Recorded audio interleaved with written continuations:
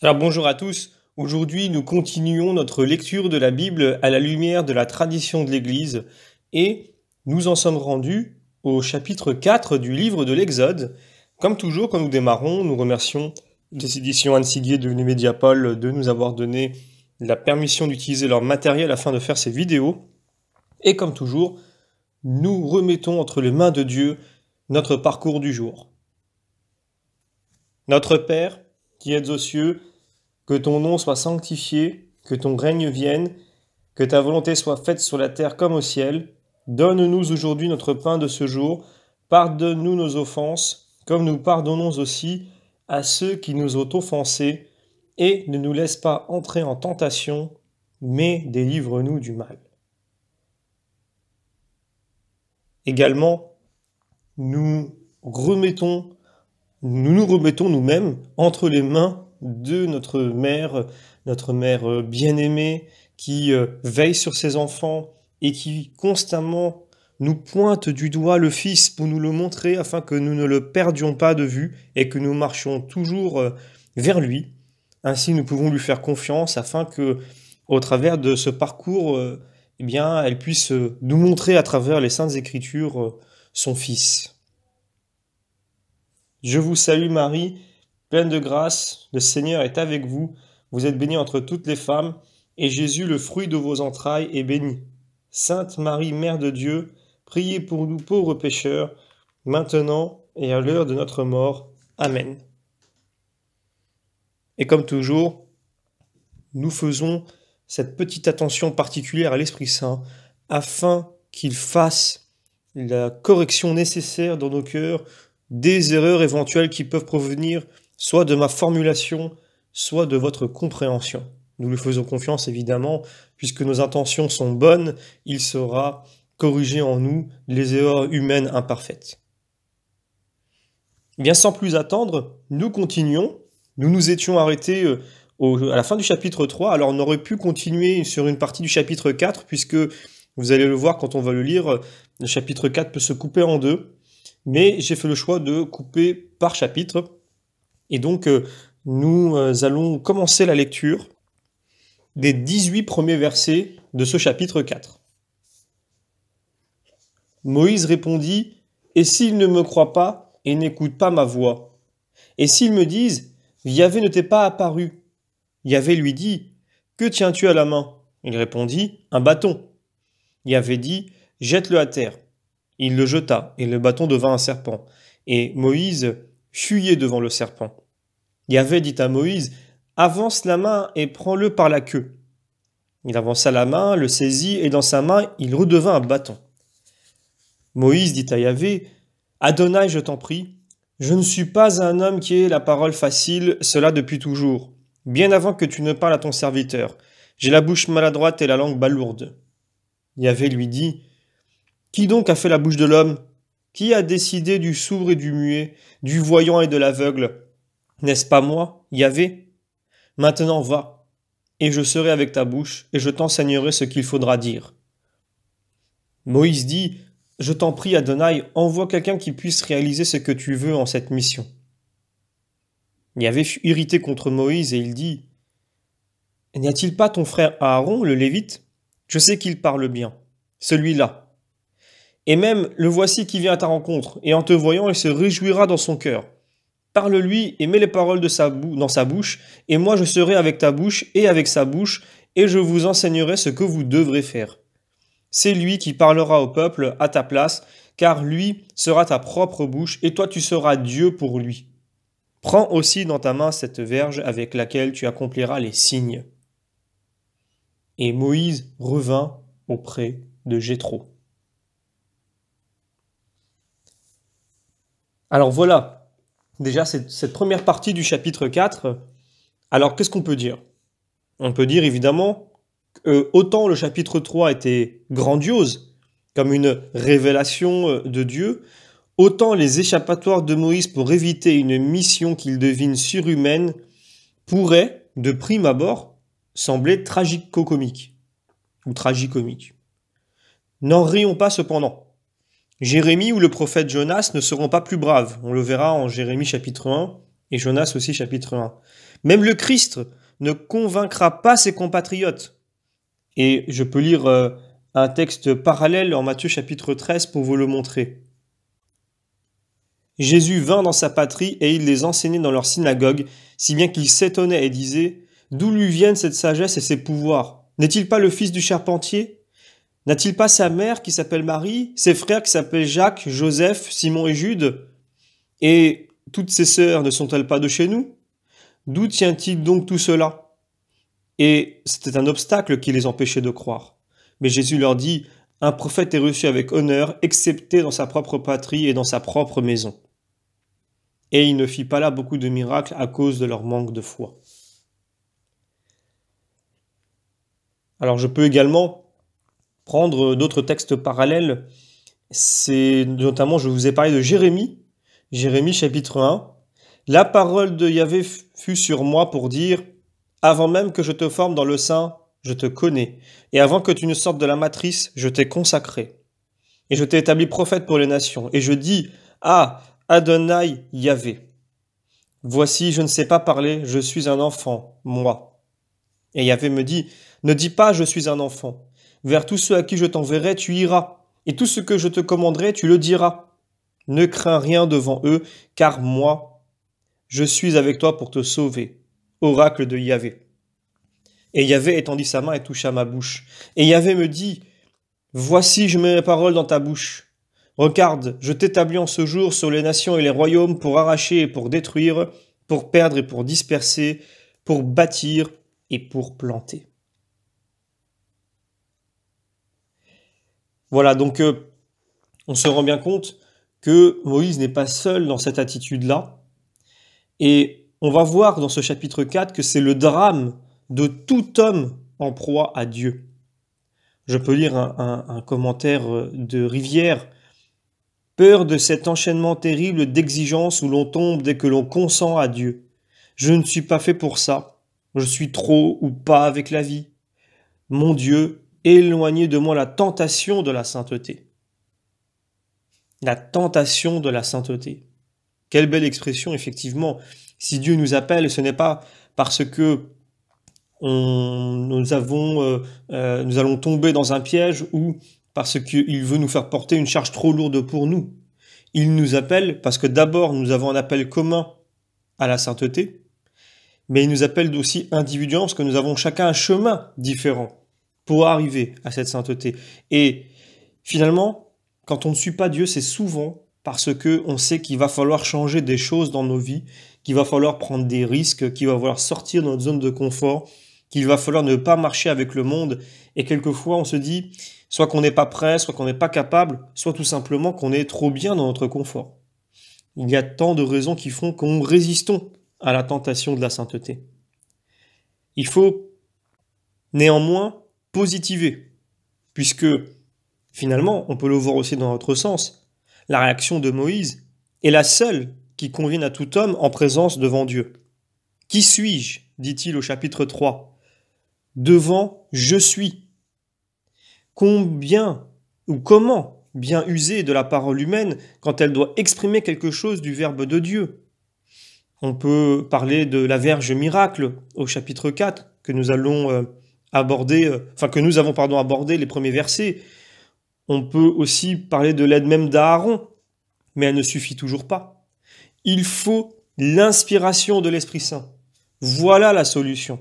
Et pour ça, je peux lire Luc chapitre 12.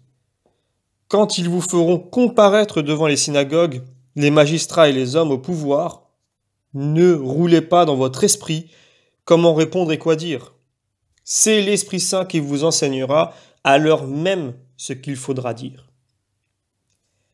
Alors, on peut également prendre un commentaire d'Origène qui dit ceci. Moïse dit qu'il ne sait pas parler quand il commence à connaître cette parole véritable qui était au commencement en Dieu.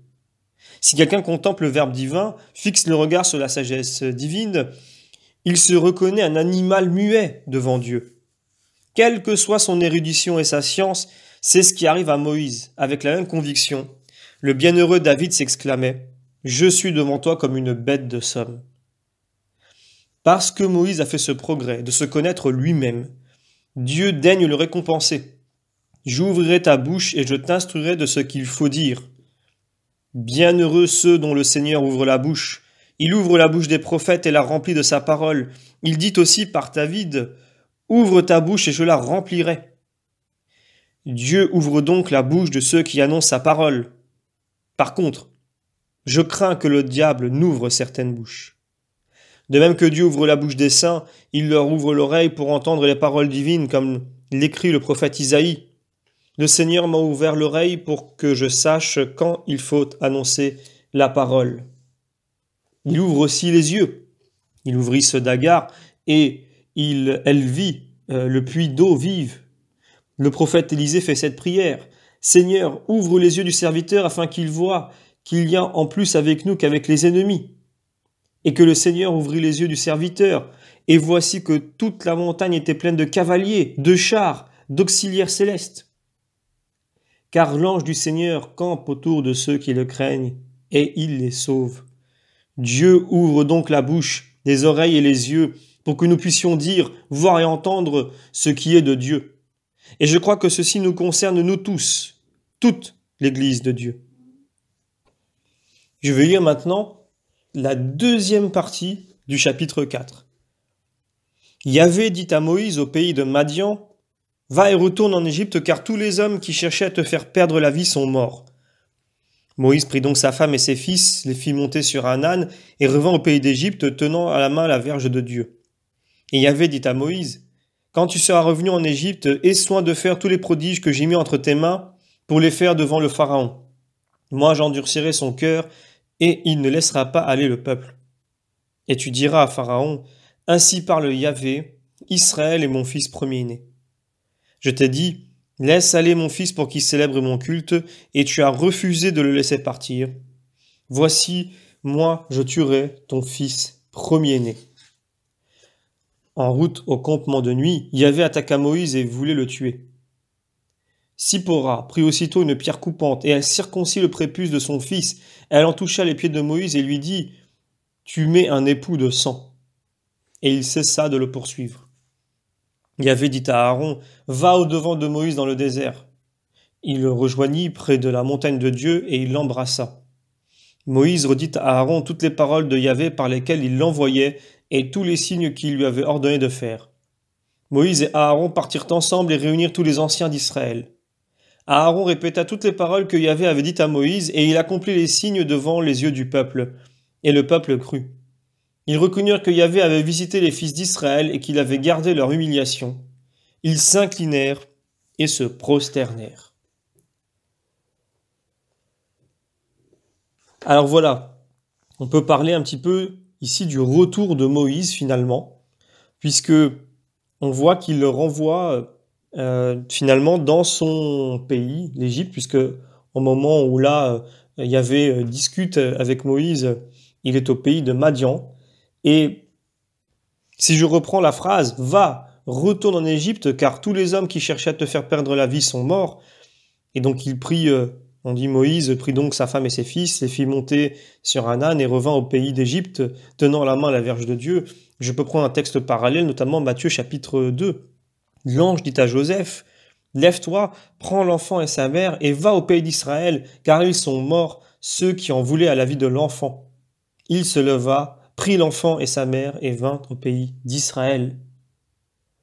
Voilà, donc euh, l'Égypte est encore une fois, c'est la première fois, mais elle le sera ensuite avec Jésus, un point de départ de l'Exode. Mais Moïse doit d'abord y retourner pour être à pied d'œuvre et commencer sa mission. Donc ce n'est pas le sens du trajet qui compte, et l'inversion de Moïse euh, à Jésus, n'empêche, il n'empêche pas évidemment le parallélisme des situations et de leur formulation, et donc de nous montrer que Moïse est donc l'image de Jésus, de ce qui allait arriver par la suite. Il l'annonce. Si je continue, je peux reprendre les versets 21 à 23. Et il y avait dit à Moïse, quand tu seras revenu en Égypte, aie soin de faire tous les prodiges que j'ai mis entre tes mains pour les faire devant le Pharaon. Moi j'endurcirai son cœur, et il ne laissera pas aller le peuple, et tu diras à Pharaon, Ainsi parle Yahvé Israël, mon fils premier-né. Je t'ai dit, Laisse aller mon fils pour qu'il célèbre mon culte, et tu as refusé de le laisser partir. Voici, moi je tuerai ton fils premier-né.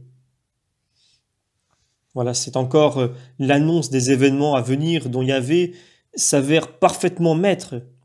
C'est ce que signifiera, on le verra plus tard, l'endurcissement de Pharaon. Et au sujet de cette expression Israël est mon fils premier-né, nous allons un petit peu développer dessus. C'est vraiment la déclaration officielle d'adoption, non plus seulement d'Abraham, Isaac et Jacob, mais de tout le peuple qui en descend. Mais Israël, a d'ailleurs avant ça, elle s'ouvre même implicitement à tous les fils à venir des nations. Mais Israël n'en gardera pas moins le titre de premier-né. On le voit d'ailleurs dans Siracide, chapitre 36.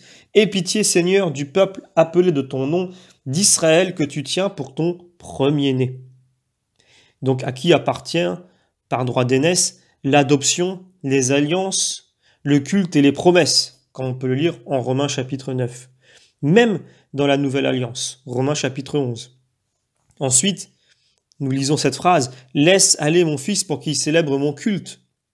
La racine avad donne lieu à tout un éventail de significations travail, volontaire ou forcé, donc aussi servitude. Mais vis-à-vis -vis de Dieu, adorer, célébrer son culte et plus généralement craindre, aimer Dieu, lui obéir, le suivre, s'attacher à lui, le servir. Ce qui est désigné en ce cas, c'est donc l'attitude religieuse fondamentale et le titre de serviteur de Yahvé sera décerné au patriarche, à Moïse, au prophète et au Messie, serviteur de Yahvé par excellence.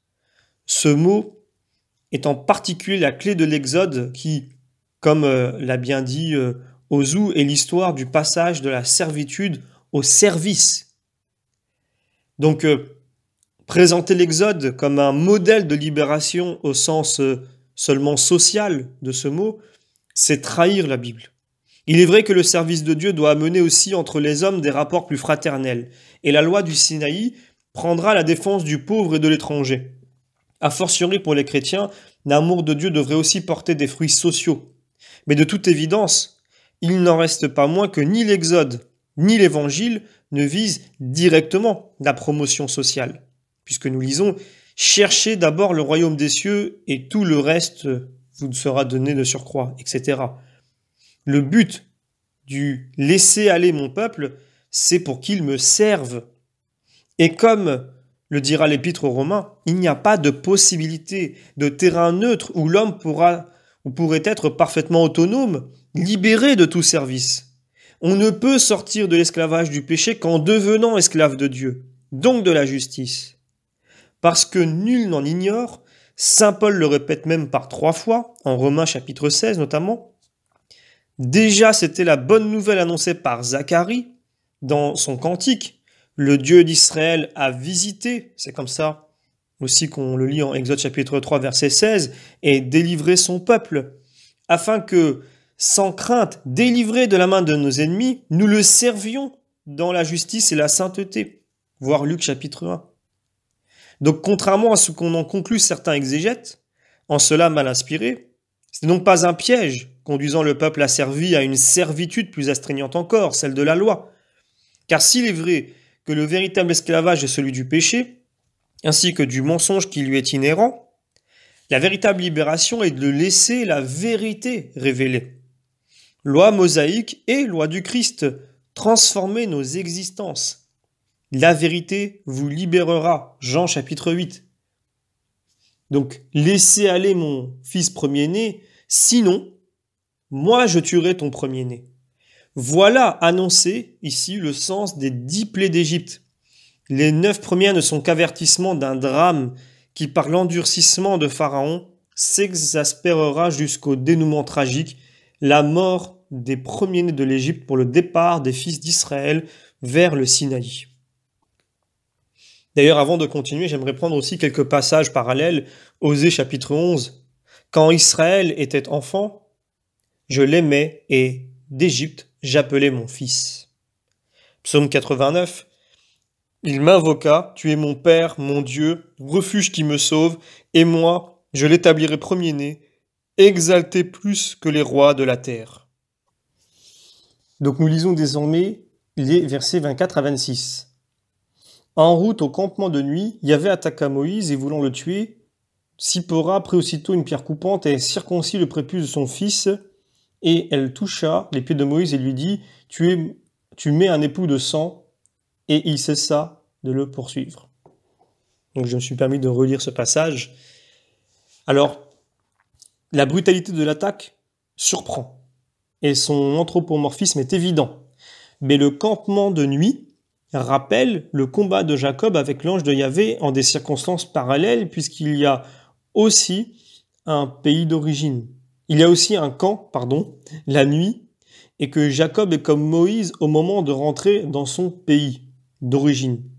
Si dans cet affrontement avec le redoutable Moïse est en danger de mort, c'est qu'il lui manque le signe de l'alliance, prescrit à Abraham et ses descendants. Il avait même été précisé que celui qui n'en est pas muni sera passible de mort comme ayant violé cette alliance. Genèse chapitre 17, versets 11 à 14. On dira, mais Moïse n'en était pas responsable, puisqu'il avait été élevé à l'égyptienne. Ce n'est pas une question de morale, mais proprement ontologique. Rencontrer Dieu est mortel si l'on n'a pas la robe du ciel, que ce soit le sang de la circoncision ou le vêtement blanc du baptême. Balaam aussi frôla la mort, bien qu'il soit parti comme Moïse, comme Jacob, sur l'ordre de Dieu. Si la peine paraît excessive, l'Évangile aussi, qui rejette l'invité au festin, mais sans habit de noces, dans les ténèbres du dehors, en deçà du royaume où Jacob et Moïse, eux, vont pénétrer. Je prends maintenant les derniers versets, mais avant ça, j'aimerais lire Matthieu chapitre 22. Le roi entra pour voir ceux qui étaient à table, et il vit là un homme qui n'avait pas revêtu la robe nuptiale. Il lui dit Ami, comment es-tu entré ici sans avoir revêtu la robe nuptiale? Et l'homme se tut. Alors le roi dit au serviteur Liez-lui les mains et les pieds et jetez-le dans les ténèbres extérieures. Là, il y aura des pleurs et des grincements de dents, car il y aura beaucoup d'appelés, mais peu d'élus. Je peux prendre également un autre passage concernant le combat. Genèse chapitre 32. Un homme lutta avec lui jusqu'au lever de l'aurore, et voyant qu'il ne pouvait le vaincre, il le toucha au creux de la hanche. Évidemment, vous vous souvenez de ce passage dans les Saintes Écritures. Je prends maintenant la lecture de la fin de ce chapitre 4. Yahvé dit à Aaron, Va au-devant de Moïse dans le désert. Il le rejoignit près de la montagne de Dieu, et il l'embrassa. Moïse redit à Aaron toutes les paroles de Yahvé par lesquelles il l'envoyait et tous les signes qu'il lui avait ordonné de faire. Moïse et Aaron partirent ensemble et réunirent tous les anciens d'Israël. Aaron répéta toutes les paroles que Yahvé avait dites à Moïse, et il accomplit les signes devant les yeux du peuple, et le peuple crut. Ils reconnurent que Yahvé avait visité les fils d'Israël et qu'il avait regardé leur humiliation. Ils s'inclinèrent et se prosternèrent. Voilà donc euh, premier stade, encore spontané, non éprouvé de la foi espérance. Les signes miraculeux ont pour but de rendre crédible l'envoyé de Dieu, donc Moïse ou Jésus. On peut prendre ce texte parallèle, Jean chapitre 2. Ce fut le commencement des miracles de Jésus. Il le fit à Cana de Galilée. Il manifesta sa gloire et ses disciples crurent en lui. C'est le tremplin nécessaire pour que l'acte de foi soit raisonnable et donc requis de l'homme. Reste à cet acte de foi à se mettre sur orbite où il ne sera plus appuyé, polarisé que sur la parole de Dieu, même si les signes cessaient ou semblaient devenir contraires, comme on va le voir au chapitre suivant. Donc je vous donne d'ores et déjà rendez-vous pour Exode chapitre 5 où nous verrons le redoublement de cette misère euh, qui euh, commence déjà un petit peu euh, à s'annoncer. Et je vous remercie encore une fois pour votre fidélité et vos encouragements. À très bientôt.